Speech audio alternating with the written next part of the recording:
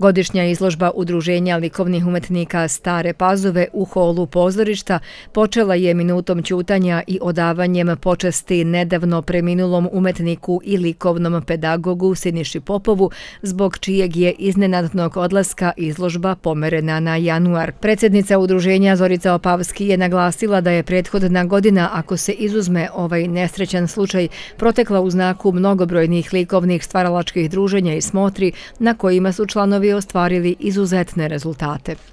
Na pokrajinskoj smotri likovnog stvaralaštva Vojvodine u Novom Bečeju, na koju se plasiralo osam naših članova i na kojoj je bilo 156 radova iz gotovo svih opština Vojvodine, Branko Reščanin osvojio je prvo mesto, Rudolf Rudi Cetinić drugo, a naš Siniša pokojni osvojio je specijalnu nagradu.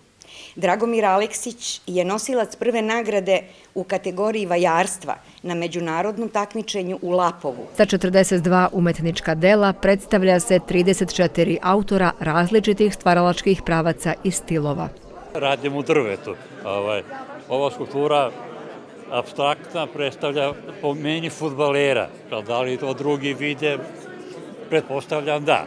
Druga skulptura se zove Prijatelji, gde prikazuje medveda i čoveka ovaj, koji su sticajem okolnosti postali i prijatelji. Moje su pracenje nastale iz čistog pukog neznanja.